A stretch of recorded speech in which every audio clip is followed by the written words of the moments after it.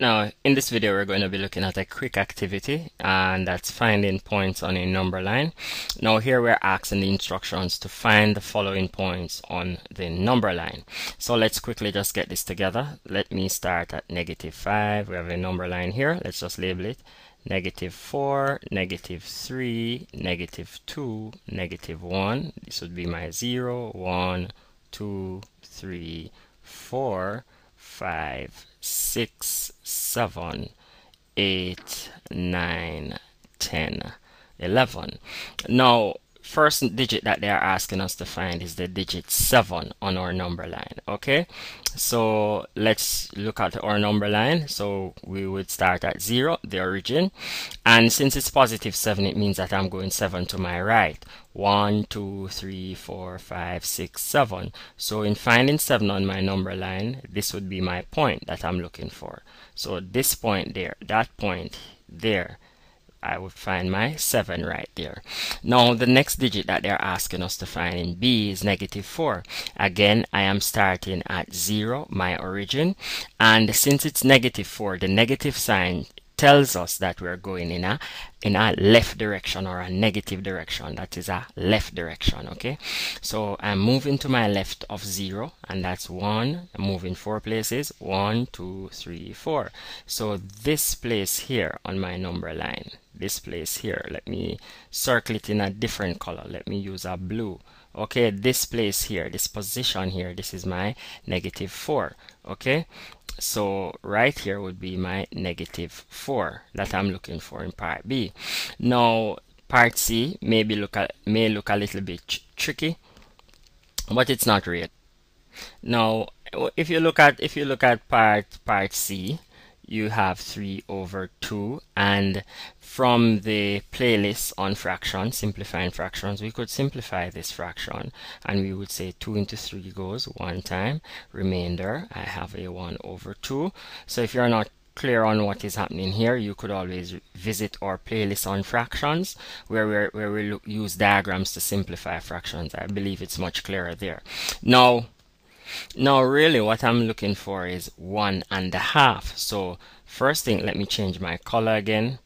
Let me just change this quickly. The the first thing I'm looking for is is the is 1 okay because this is my whole number I have 1 and then I need a half so a half would be halfway between 1 and 2 so somewhere there okay that would be a half so if I want one and a half then it simply means then I'm interested in this position. So one and a half would be here and one and a half is the same as 3 over 2. So that's my position here that I'm looking for. It's that easy. Now if I'm looking for 0.25, now again from our playlist you would know that 0 0.25 on conversion 0.25 is the same as a quarter okay? So I am asking myself now where can I find a quarter okay? Now a quarter obviously is less than 1 and it is greater than 0 so it simply means then um, a quarter can be found between between 0 and 1 so the total and as we would have learned on fractions from fractions um, from 0 to 1 would be one unit that would be a whole. Now in my whole I would have to have four equal parts. So this suggests then that I would have to divide the, the distance between 0 and 1 into four equal parts. So let's do that. That's 1 that's 2 that's 3 so I have one two three four. One two three four equal parts. Now so from zero to the first one that's one part. That's the second part. That's the third part and that's the fourth part. Now if I want a quarter I want one out of the four. So I'm moving from zero. I'm stopping at the first one okay?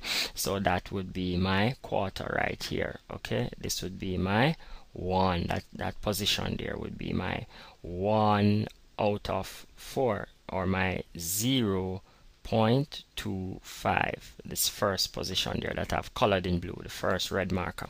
Okay and again you can take um, 5 over 3 let's move quickly to D to E 5 over 3 and 5 over 3 can be simplified to say 3 into 5 goes one time and remainder 2 over 3 okay?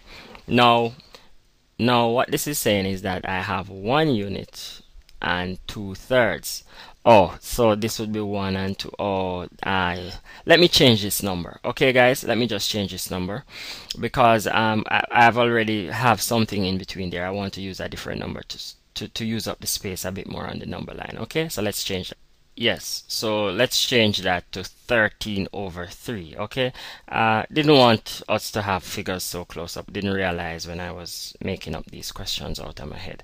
All right um, so let's change that so we have the figures a bit more spaced. Now here we have a 13 over 3 and we know that 13 over 3 can be simplified to say then how many sets of 3's can I get out of 13 I can get a total of 4 and remainder 1 over 3 so now basically what I'm looking at I'm looking at my whole number and my whole number is 4 so this would suggest that starting from 0 I would count 4 units to my right.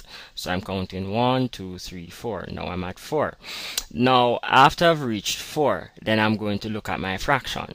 Now if you notice the denominator in my fraction is 3 and the numerator says 1 so the distance between 4 and 5 I must divide it into three equal parts. Uh, it's it's it's that easy now let's just divide this into three equal parts. That's one and that's two. So this now has be, I have divided the, the distance into three equal parts. Now I need only one out of three. Alright so I've moved my four already. So I am going to move an additional one out of three. So this is one out of three. So um, four and one third is the same as 13 over three. So this would be my position that I'm interested in right here. This would be my 13 over 3 and that's that position there. This position right there. Okay guys? All right. Yes it's that easy and bye bye feel free to leave a question or comment if you're still not sure. Okay? Good